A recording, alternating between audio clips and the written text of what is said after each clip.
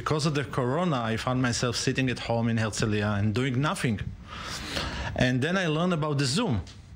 And I thought about to call all my friends that they are already speakers, and I have also speakers from all over the world, and uh, to establish this special uh, uh speaker bureau that um, we have, uh, um, I mean, we have uh, speakers, we have uh, different languages, and they all talk about spy, security, cyber, military, and things like this. Are these like are these new stories that these individuals can speak about? Stories that never before were known? Well, actually we never got this kind of agency because I took, I found all the all the people that already speakers. Okay, I'm not going to ask uh, retired agents to start to talk. Mm -hmm. Okay, but when you put together all of them, you can also make special events with a few of them, and you can do like uh, courses, like a small university of spy. And it also makes, I know you yourself have consulted uh, produ film productions uh, on accuracy uh, and, and Mossad missions. If there are, you know, screenwriters or producers, if they want to learn more, I mean, this is like a database yes. of decades of experience of the Mossad, this famous agency in Israel. Yes, we, we, we produce uh, uh, traveling exhibitions, props for movies. Uh, we have uh, different kind of medals that we produce for big operations. And uh, we can also help uh, screenwriters if they if they need our advice how to write because it's all about the small details. A lot of, uh, especially for Hollywood or the world, they know the Mossad only through like movies and TV and production. Th there's this image of the Mossad. So with this new website you've cultivated, Spy Legends, I mean, it makes it easier to get to the true story that's out there. Yes, we have the true story, but we have also directors, producers, uh, actors that talk about the cinema. But we always compare between the real life. We have a real Mossad agents. We have Shin Bet.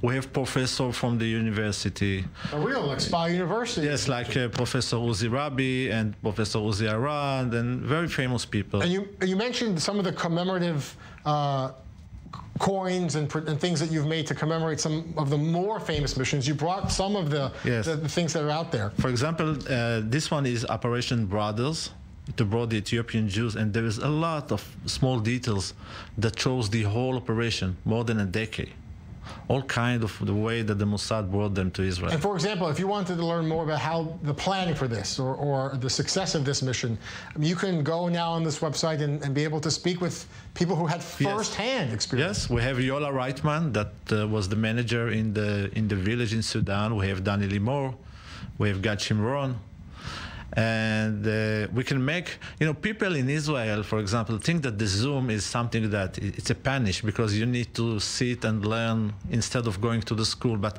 i found that in the zoom you can connect people from all over the world okay?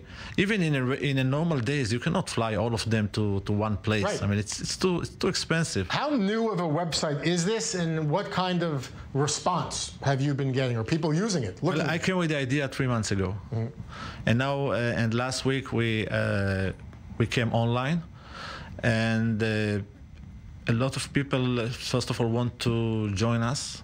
So we have to be very very uh, careful because we are picking only the, the people. Best. The you mentioned also it's Israeli spies or agents, but also there are some CIA yes. operatives there. So this is international spies Yes, it's international. Well. Yes, international. you knew these are people that you knew in your For work? example, uh, uh, Robert Baer is a very famous uh, CIA, former CIA agent, and he, he works now for CNN, but he made the uh, famous uh, television series about Hitler. Mm. Okay, so so he can talk, for example, in the topics of Holocaust, and talk about Hitler. Is Hitler still alive and he's in, or he, did he escape to? Yeah, some of these conspiracies out there. Yes. You know, it was really incredible website. I know it's brand new. It's one of the things that, uh, one of the more creative things coming out from this pandemic. Congratulations on launching it. Avner Avraham again, spylegends.com. Best of luck